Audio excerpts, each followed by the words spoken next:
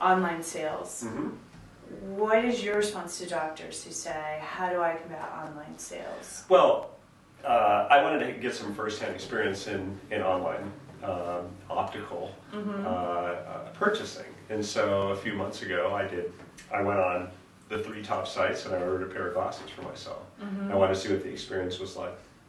Um, one of the sites uh, provided a very easy, um, straightforward experience. Uh, the product that I got in was good, and it was um, uh, at a decent price. It wasn't uh, uh, heavily discounted price. Uh, one offered a pretty um, less than fulfilling experience, and the other one was just kind of okay. Um, I think online um, uh, optical retailing is here to stay. Uh, it's currently 3% of the market. It'll probably go to 10, 10 or 12% of the market. Uh, the real question is, is it going to expand the overall size of the market? Will it help to increase consumption of eyewear units? Um, I believe that's the case. Uh, it will happen. I believe um, independent practitioners and chain practitioners have to respond with their own online initiatives. Uh, they have to give the customer what uh, they're looking for, um, and they have to make buying eyewear easy and fun.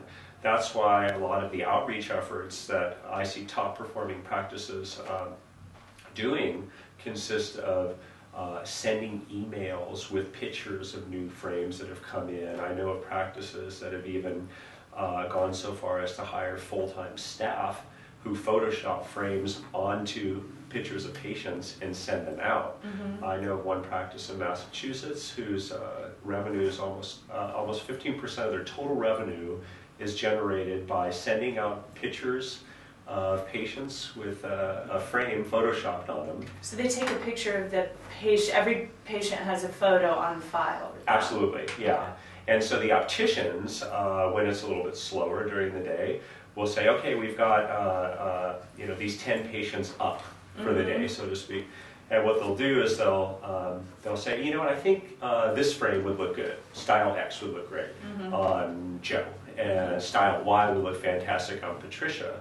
And so they do an online styling, and then they send it out to the patient who's opted in for this uh, recommendation. So it becomes like a personal shopper. Uh, this particular practice, I can tell you, is closing almost 40% of the offers that they make.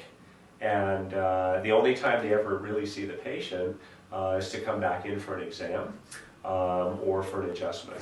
Uh, Wow. they've developed a, um, uh, a following all over the world that buys glasses this way. So I think that's one way that the independent can respond to online and uh, use it. And it's at a scale that they can control too. It's not like so overwhelming. It's really Yeah. doable within their, you know, the size of what their practice. Yeah, absolutely. And the key is to have it personalized and uh, Mhm. uh, you know have somebody understand you. Um, I have a, a store where I buy uh, things in Southern California where um, I've actually been there twice. Um, I've done 28 transactions with them over the last four years. Why is that? There's a salesperson there who calls me all the time, sends me emails. Hey, I got this uh, or that. I got this shirt actually from uh, from them. It was one of uh, a packet of shirts Mhm. that she sent me, um, and I think I've sent back two items. In But it's relationship based. Totally relationship. Just using the technology within the context of a relationship. Absolutely, and I think one of the biggest um, uh, problems in optical today is that we're selling ourselves short. Mhm. We stop selling after the first frame for the most part, whereas a lot of customers, patients, Mhm. consumers, whatever you want to call them, uh, are just getting started at one frame, Mhm. where in fact they are willing and able to buy multiple frames and eyewear wardrobes, but quite often we're ready to just move them down the door after they bought, uh, uh, move down the trail after they bought one frame.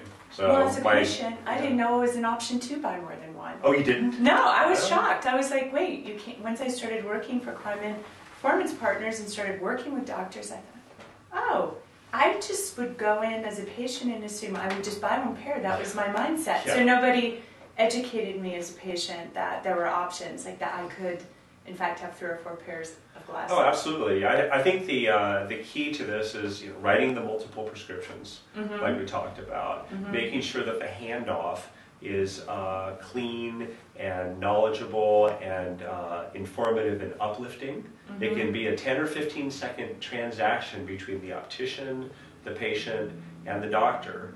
Uh, and if that's done right, it's magic what happens actually in the uh, optical sales area. Three frame sales, six frame sales, it's uh, quite astounding.